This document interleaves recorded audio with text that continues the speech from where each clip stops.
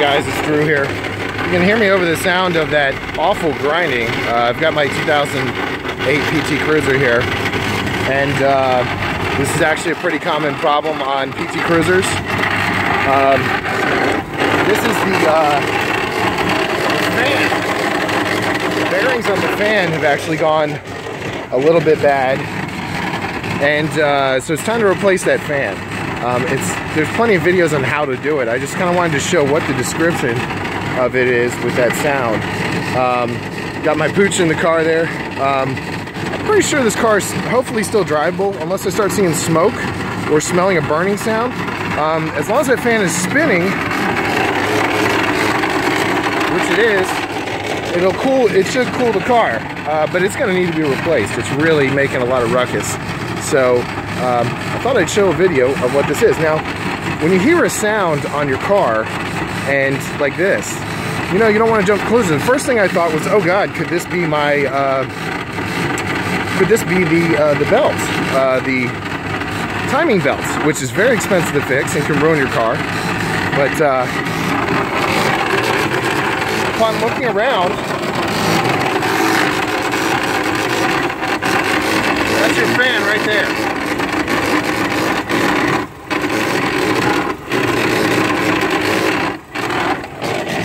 So when you look, you know, when you hear a sound on your car, look around. Um, this is your timing belt here. So it's not the timing belt. There's no vibration coming there. And it's not any of my cylinders. This thing right here is scraping away. Man, that is noisy and scary if you're driving and you hear that. So I'm gonna try to drive it home. If I start hearing smoke or the temperature on my car rises, I'll have to call AAA or a tow truck. But uh, just want to show you guys what that sound is. Apparently the car still is drivable like this, but uh, that sound is just annoying. Now, like I said, you just have to go home, go slow, and keep going. But yeah, I'm heading back to the house because this is an awful sound. And uh, the, the part costs about 50 bucks. And um, the, the labor, uh, there's, there's a you know, like I said, if you're if you're doing this, look up another video. There's plenty of videos on how to fix it. I may post one when I do it if I get around to it. Um, so, but uh, this might not be as expensive as a fix if you think. Uh, mechanics will probably charge you two or three hours labor to do this, but it's actually the fan is just one piece. It's not hooked up uh, to move back here so you guys can hear me. It's not hooked up to the rest of the car like on a uh, on my Chevy Tahoe, the fan is hooked up to the actual belts on the car. This is just an electric fan that plugs in, and when it's plugged in, it makes that sound. So it's a very cheap, cheap fan. And that is a god-awful sound, but hopefully we'll make it home. But anyway, right in here, this is your fan right here. And bolts right here, here, Oh man, that thing is loud. There's like six bolts. All right, well I just wanted to post a video on what it sounds like on a PT Cruiser when your cooling fan goes bad. And it's an awful sound. It really is. All right guys, thanks for watching. And uh, if this happens to you while you're on the road, I wish you luck. If, if you don't know anything about mechanics, um, and you have AAA, I would call AAA. I'm only about two miles from my house. But if this happens to you on a road trip or something, you're gonna have to call AAA. You can't drive with this more than maybe five or 10 miles because it's just going to continue making noise. All right, guys, good luck. Uh, subscribe. Hopefully this video helped you out. Give it a thumbs up. I've got plenty of good videos. And uh, also, I've got a lot of puppy videos. Nobody ever watches my puppy videos, but if you subscribe, click on there. And this is Stark. He's in my car right there. and I got videos of him as a puppy and as his mom, of his mom and his dad as puppies. And uh, so you know, if you're into puppy videos, I've got plenty of those too. All right, guys, well, good luck to you, and I hope this doesn't happen to you on the road. Um, I may get rid of this PT Cruiser soon. I, I like the car, but they're just built cheap. This thing only costs $16,000 brand new, give or take, 16 and change. And uh, they're not meant to last. You know, I mean, the transmission could go out. This car only has 100,000 miles on it, so the timing belt hasn't even gone out on it. And uh, I'm not looking forward to that moment either when the timing belt goes out because uh, that's gonna be expensive. So I may try to sell this car before I need timing belt maintenance because it's to be expensive and it can ruin the car. Drew. I just want to do a continuation here uh, of the other video uh, where I was stranded uh, and I said I might try to make it home on the fan here. Just wanted to show you the fan actually quit. Uh, so I ended up calling a tow truck because it's really, really scary for your engine. Now, first of all, you'll see it first starting my car it's already, I mean, it's a nice cool day. It's already up. But when I was driving, all of a sudden that needle just kept going up to high. If you let it get onto the H for too long, it will ruin your engine and cost you thousands of dollars. So I just wanted to continue this. I'm gonna try, that fan is no longer running. It's making a loud grinding sound. It has quit completely. So uh, I'm not gonna do it too long, but anyway, the, the car no longer has cooling ability for that radiator. And eventually this temperature gauge is gonna keep going up and so I'm gonna replace fan. I'm gonna probably do a video on that. Just thought I'd tell you, do not drive the car. If it starts making that grinding sound, you're not gonna make it home. Call a tow truck. All right, guys, this is Drew. Uh, thanks for watching, and I thought I'd, like I said, subscribe, continue the video and show you that. Look at that gauge, it keeps going up, keeps going up. I don't wanna ruin the engine. So, uh, yeah, so we're gonna do this here in my driveway. Bought a replacement fan for 53 bucks on eBay. So hopefully you uh, it'll only be about a two hour project for me. It's probably an hour project for a normal person, but you got to do a lot of stuff. Anyway, if you hear that grinding sound, this whole fan unit actually comes out. We're continuing the video um, on uh, replacing the uh, fan on a PT Cruiser, the cooling fan. This is a 2008 model. So uh, we're looking up at the radiator. I am under the car. Car's up on jacks. I can't say that was easy. I got a friend to help me with that. I'm not big on uh, jacking up cars if you do jack up your car, you definitely want backup safety because these things are not, you know, they can fall down. Anyway, let's get the point. You definitely, and you also want to usually have somebody around. Uh, I don't today, but I've, you know, the car feels fairly secure, hopefully, knock on wood. Okay, so here we go. All right, so your radiator cooling fan on a PT Cruiser is this electric POS. It's just junk, okay? It's not like a regular car where the cooling fan would actually fit onto the water pump in there. Okay, so I'm gonna show you on the bottom here is uh, what we're missing, what uh, a lot of those other videos don't show you. Um, there's, you know, there's several videos that actually show the breakdown of how to uh, literally put this thing in. So I've already got it out. I'm to show you what some of the issues I had that those quick videos don't show you that look all professional and stuff. There, there's some decent ones on there. Okay. First of all, here's where the screws are. There's two screws on the bottom. They are really close to the bumper, so you actually can get to them without jacking the car up. I just felt more comfortable. I'm a big guy. Uh, so there's one hole, screw hole here, and the screw is out, obviously. And then there's one right here.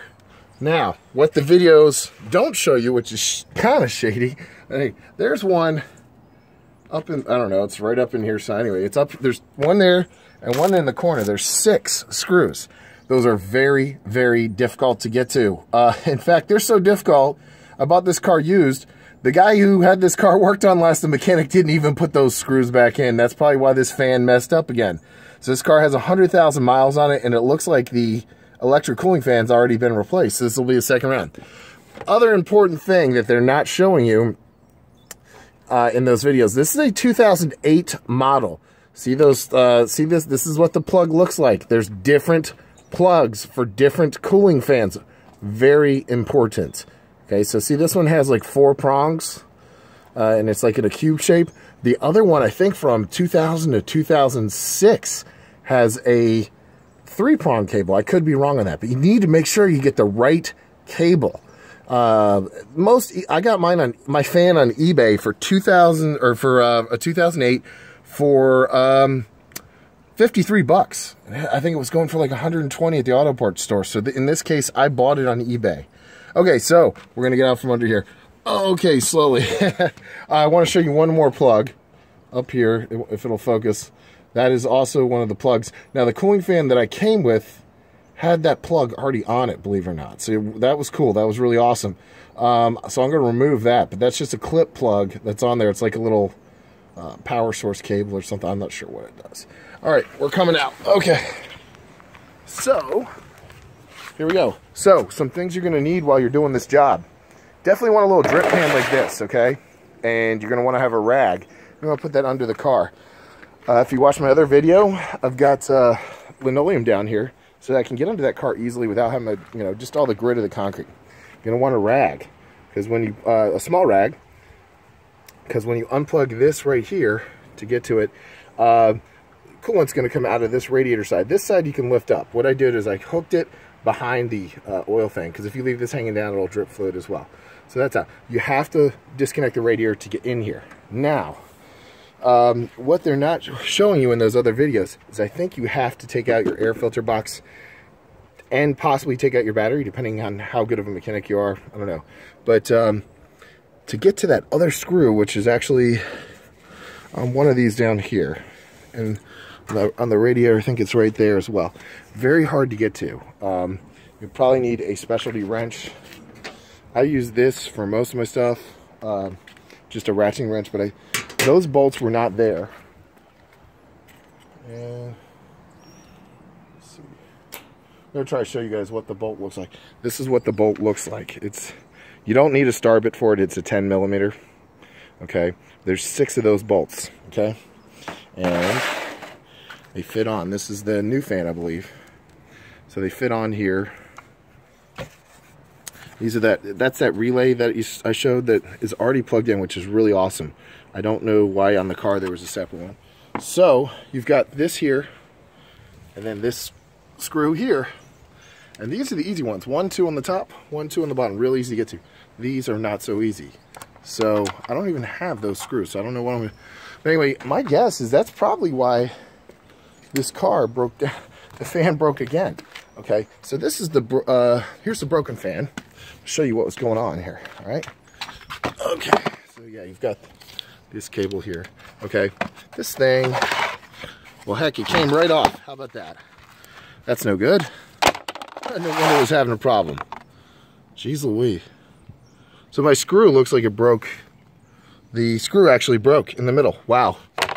Wow, wow. You know, so I probably could have repaired this because it doesn't look like the motor broke. But I'm not going to mess with it. For 53 bucks on eBay, it's worth it just to get a whole new one. Um, you know what? That screw probably broke because the person didn't have all four, all six of these in. He didn't do this one or this one. Hence, when, his, when the fan's going, it's probably going to wobble a little bit, causing that tensioner. Wow. So that's a good example. If you guys are still watching this video, and I hope you are, it's a good example of why when you take your car to a mechanic, you have problems later. You think your mechanic's sabotaging you, they just get a little bit lazy and they don't do the whole job. And, or they don't, they forget to connect something and it causes problems later. So in this case, like I said, he didn't connect the two side. I want to get the car running today, so I may reconnect it without these, hoping that it'll go another 20,000 miles. Um, I don't know, that's just, yeah. But, um, okay, so now you see, that's what was going on. Literally, the, the bolt here broke on this fan. So when it was when it was operating, it was doing this. And that was the noise we're hearing earlier in the video. Really loud. And then it just quit. So when it quits and it's not spinning anymore, your car overheats. All right. So you have these two cables here, and like I said, this one, this fan is not a, this fan is a little more organized over here. This new one. Put these side by side here. This one over here, this is your bottom plug. This is what the plug looks like that goes into those four prongs. Okay. These are the, that's that little relay thing there, and they've actually got these uh, bolted to the fan, which is nice. I will show you one thing there. I'm gonna tighten that screw because that look see how that's a little loose. That's just the part the way it came, but that's not the way I want it. All right, so you've got that plug down there. That's really the only one you need to plug in. This is already plugged in. Um, and uh, yeah, and you want to make sure the new fan spins. So there's that bolt. Um, you know, on the back side of it, yeah. so uh, either that, that nut came off. Maybe the guy never put that nut on. All right, so whatever. Uh, but guys, basically, you're going to want the rag. You're to need to remove your air filter here. It's, it's all shown in one of those other videos. I'm showing you what was difficult. Um, this was really easy to remove. You have to remove this to get to the radio. And there's a, three bolts there. One, two, three on each side. One, two, three. These little holes there. And those are 10 millimeter as well. Take those off. And underneath that is the, the grill. The grill just bolts in right here. And uh, I'm not sure what millimeter wrench those were, but it's pretty easy to just find one by trying it. So, got the radiator forward. I was able to pull that out. Um, gives you shows you the guts there. Like if you ever had to replace the starter, this is probably something you'll have to do is remove that fan to get into the starter. And it's very possible that the fan wasn't replaced, but the starter was, and that person just didn't put the fan back properly. Because um, it looks like to get to a lot of these parts, you have to remove that fan. And they probably took the radiator out too. So anyway, uh, pan under your car to avoid some of this uh, overflow. And uh, yeah, so, and you may have to remove the battery to get to those other screws. So I may go to the auto parts store. I want to get this in right, but I don't want to, you know. This is one advantage to having two cars. I've got my Chevy Tahoe. That runs. I'm not in a hurry. Uh, okay, guys. So uh, fast forward. I got the fan put in now. Uh, it went in better than I thought, actually. Um, but I did find it. The reason it was easy to take out, more or less, is because those two screws, one and two, on uh, the middle screws were missing, or middle... Um, bolts. So I was able to just take the top off and then the bottom off. Somebody had worked on here before, I guess.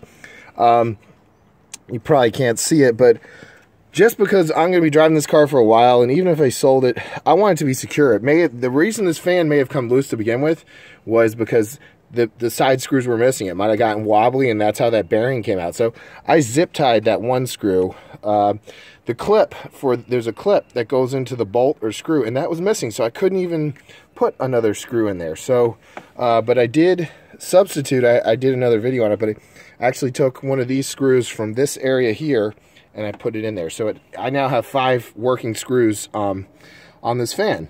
Um, something that worked for me also to get this in and out, I took out the engine oil dipstick. You don't want to get any coolant or anything in there, but this was sort of in the way. Uh, so when I pulled the radiator back. But it's on there. You can see it now. This is the new uh, cooling fan. I haven't turned the car on yet. We'll see. Hopefully it'll work. Another thing I didn't mention in the beginning. Um, when you pull this uh, radiator, uh, this thing out right here, you gotta you gotta do that to get the radiator to slide back. You want to take the top off, the cap off the radiator so it doesn't all ooze out and bubble out. And uh, I actually took a uh, turkey baster, one that I don't use for eating, and I dipped a little bit out of the top of this so it wouldn't overflow and leak when I was doing it. So uh, hopefully this worked out well. He said you got to take this air filter cover off. And if you can't get to that screw in there, I actually found it easier to get to the middle screw from the underside of the car, from underside uh, it was easier to reach in there and get to. On this side, it's probably easier on the top. On this side, it's on the bottom. There's slightly, you know, I guess you could always take that battery out and kind of work around that and even take the air filter casing out if you have to. The less you take out, the better. That's all I can say. Um, you know, you don't want to overdo it. But uh, uh, I feel pretty successful about this. Now all I need to do is put, put all the coverings back on and then, uh, you know, if, I may not have mentioned this, but, you know, there's a video on how to do all this step by step. You definitely want to remove this uh, piece here that goes into the radiator because uh, there's a little clamp on the on this part right here. That's right. Uh, you want to remove this because, uh, and then and this part here from the radiator because it makes it much easier to get to and pull the radiator back. So this goes on like this. Just we're not putting it back to. I'm not gonna permanently put it, but you give you an idea of where it goes. And then this grill cover right here goes back here, and voila, that's your car back to where it should be. I mean, it really isn't that hard. This job was not that difficult, so I would say an average person could do it. You also take off this uh, this stripping here. Don't want to forget about that. This part here. Um, you know, uh, other than uh, having to get under the car to get to those bolts and screws, and uh, plug in the fan. Um, it does take a little wiggling once the radiator's in to get that. Let me pull this back out. You just set that there. Um, takes a little wiggling to get the uh, fan in from the radiator. Just kind of kind of work it in. You don't want to damage this grill in the front. Uh, but overall, I'd say it was, you know, difficulty. well, with one being the least hardest and 10 being the hardest, uh, I would give this a 5. Literally, it's 50-50. Some people are more skilled than others. Um, but, you know, for the $50 that this cooling fan costs, I bet this job probably is about 200 maybe 250 uh, In fact, the you do it at a dealership, they're going to charge you like 130 for the fan probably. I don't, I didn't price that out, but it's usually double what you pay on eBay. Um, so then you're going to pay two, three hours labor at 100 bucks an hour. So it could be easily $300 at dealership, uh, $80 an hour for a mechanic, you're looking at least two hours labor probably for this. So for 50 bucks, this saved me um, a lot. And like I said, you have this little relay. These are the uh, fuses here. Um, but uh, yeah, I'm, I'm pretty happy with how this job went. Ready to put it back together. Um, if you had any questions about this, you're welcome to post them and I'll see if I can answer them. Um, mostly in this video, I tried to point out uh, difficulties I had um, instead of being a full explanation video. There's plenty of videos. There's like three good videos on people doing this step by step and editing and getting everything done. Um, I like to just show uh, how I did it, how I did it, and difficulties I had versus editing and step by step. So my video style is a little different, but uh, like I said, we got everything back together here, and I'm looking forward to starting the car. And uh, this, like I said, it worked a lot better than I thought. Hopefully it'll run. All right, guys, so got the fan installed, and uh, I'm about to crank it up. Um, I actually cranked it up earlier, and the fan didn't start.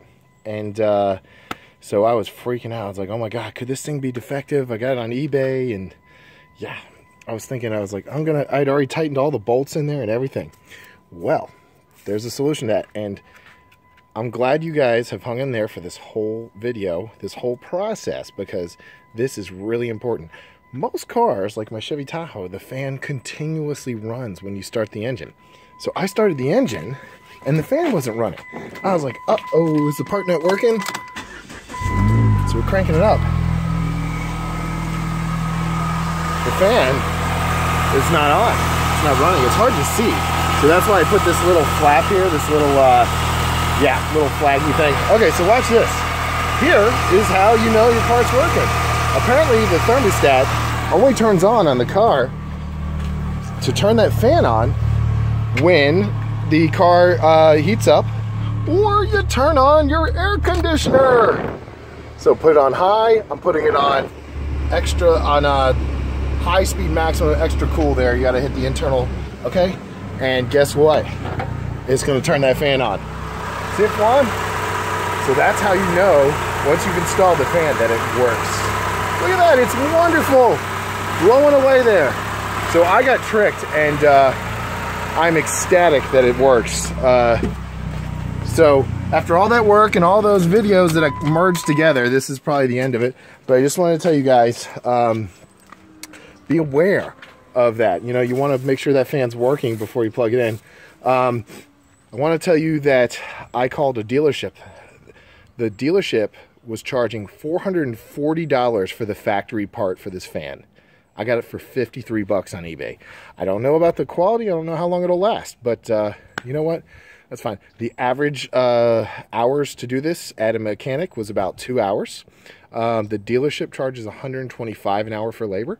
So a job like this done by the dealership was about $700, $690 plus tax. Um, and I called some other local shops. It was about 500. The most expensive part of it was the part, the fan. They all wanted around 190 to uh, 400 for it, you know. Um, at AutoZone, AutoZone didn't carry the fan, not that I could see. Um, Advanced Auto Parts had the fan for about 120 and change, I guess. So eBay is a great place to get parts. So if you've uh, hung in there this long with me on this video, just want to say I'm going to finish uh, putting this back together, put the rest of the car together. But uh, um, let's just go over a couple things again. Um, in case fast forward, it helps to remove this engine oil dipstick. You want to make sure you clean it off and put it in a clean place because you can get in there a little easier without that. Um, you're going to take the radiator hose out and you want to have a, a, a, rag to put in there because it's going to leak everywhere and maybe something underneath. You tuck the radiator hose behind the transmission thing here. It works really well. You take this this uh, cover off and uh, you before you take your radio hose off, you're going to want to loosen the cap here and let some of that pressure loose on the radiator so that it just doesn't come gushing out of there. Um, uh, like I said, those hidden bolts down there on the on the side in the middle, the ones nobody else showed, those are kind of hard to get to. Um, you'll want to make sure you get to those. Um, but uh, overall, I said this job was not very hard, uh, and uh, I feel accomplished by doing it. You want to disconnect the radiator from here so you can pull it forward when you're working after this is done. Um, I think that's all I can remember to tell you guys about this job. it was it, like I said, it was a lot of it's I feel this great sense of satisfaction. I feel like I paid myself to do this work. I feel like I got paid $500 this week. And of course I had that second car so I could get around. I'm not stranded. But that if you watch my other video on owning a second vehicle, even if it's an older car, that paid for itself right there because I didn't have to rush to get this job done. I could wait for the parts to come on eBay. I didn't have to, you know, I have my other car to drive. Uh, if you took it to the shop, that's five, seven hundred dollars. I paid for my insurance for the year just by on two vehicles just by doing this job myself. So unreal. Okay, so we're gonna take the tape off there now because we know we've got done. All right, guys. Well, um, mission accomplished. I'm just got to put the uh, the grill back on and I'll put this this uh, rubber lip back on here. Um, you know, check out some of the other videos um, about this. There's maybe three or four about it. So you take what you can get out of each video. I found certain things that I showed in my video that were not available in other videos. Um, so I want to thank you again for watching this very long video, this continuation. I probably did six videos and merged them all into one. I just learned how to edit. So guys, this is Drew. Thank you. I hope you get your radiator fan uh, electric cooling fan installed. I hope it only cost you 50, 60 bucks like it did for me. And uh, remember, if you're using jacks to secure, put some blocks under there as well because you just never know if something's going to come loose and you can hurt yourself. So overall, this job was really easy. You may not even need jacks. This car was lowered. Thanks, guys. This is Drew. Subscribe, share this with your friends who own PT Cruisers. These fans go out on a regular basis. I wouldn't be surprised if this one goes out after another 20,000 miles. Have a good one, guys. Thanks.